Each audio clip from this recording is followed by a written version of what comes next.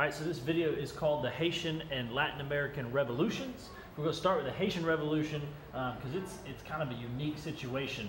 So originally Haiti was a very prosperous French colony that sold sugar, had the sugar plantations like we talked about a couple units ago. They had a ton of slaves, and it wasn't called Haiti, it was called San Domingo. All right?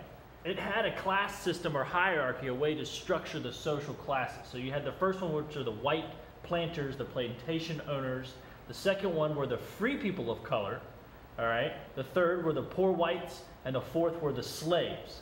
And so, what the blue represents is the social class system. The red represents um, what they hated about being controlled by France. And all of that was kind of fueled by the French Revolution that we had just done.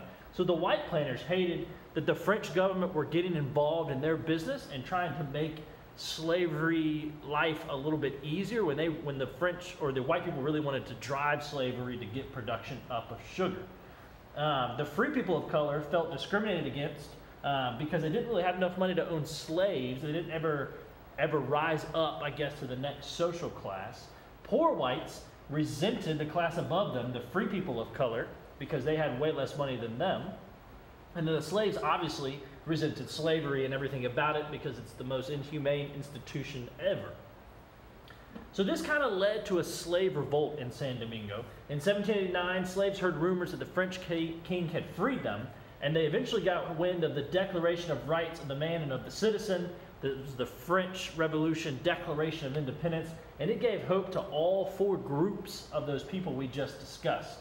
Um, and so in August 1791, there was a slave revolt led, led by to Toussaint Louverture. I can never say his name, so I wrote it out. Louverture. All right. Spanish and the British offered their support to that slave revolt because remember, the, they, you know, France was pretty much fighting everybody. And then France quickly realizes they weren't going to be able to defeat the slave revolt, the British and the Spanish, so they just freed all the slaves.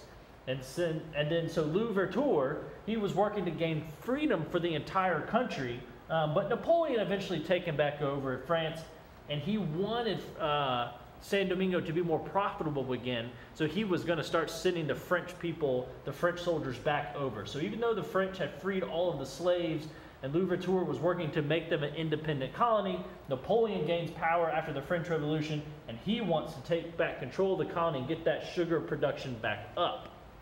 Well, the only way to get that sugar production back up in San Domingo or San Domingue is to send his brother in law over and take back control and then reintroduce slavery. Obviously, that was not going to do very well, so they had to get rid of Louverture. So the French arrested him and imprisoned him in a French prison back in France, and he actually died in prison in 1803. The slaves then revolted against the French and they started to fight the French soldiers who were there on behalf of Napoleon. And actually, they got really lucky because yellow fever killed a lot of French soldiers. Um, they had never been exposed to that disease before. And then Dessalines, who was a friend of Louverture, he uh, helped fight Louverture or helped fight with Louverture in a lot of battles, declared Haiti a free country on January 1st, 1804, after the, all the slaves had defeated um, the French soldiers. This was important for three reasons. One, it was the largest successful slave revolt ever, uh, maybe one of the most successful of all time. Two, second modern, uh, or it was the second modern country in the Americas, right? And then it was the first modern country to be governed completely by people who were of African descent. Um, a lot of the slaves at that point had been born in Haiti. And so they, after the revolt, were able to uh, take control of their own country. So let's take a quick look at other Latin American revolutions.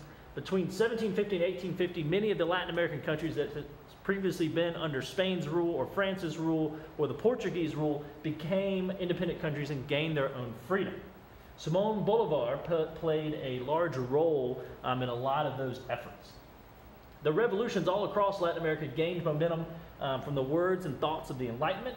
They had heard about all the revolutions happening all over the world. And the fact basically remains that all the major countries in Europe were starting to fight each other, with especially with Napoleon in power, and so they were kind of less focused on their colonies over in Latin America. So you couple these together, you had a lot of a lot of um, momentum for revolution. So let's look at, for example, is Brazil. Napoleon took over Portugal. Portugal controlled Brazil. When Napoleon took over Portugal, the Portugal king and his family ran all the way over to Brazil to leave to escape Napoleon.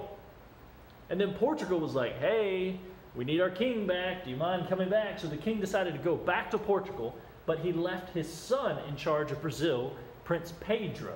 All right, so his son, Prince Pedro, was then convinced by the Brazilian people to make himself the king of Brazil, and they set up their own independent country, which was a constitutional monarchy. So it was a revolution that didn't really have a lot of bloodshed, which is kind of cool. Um, in Mexico, a couple of peasants' revolts kind of paved the way for a larger revolution that eventually gained their freedom from Spain. And then Venezuela, led by our boy Bolivar again, gained independence from Spain when he um, convinced Spanish supporters in Venezuela to fight against Spain, and then they eventually gained their freedom.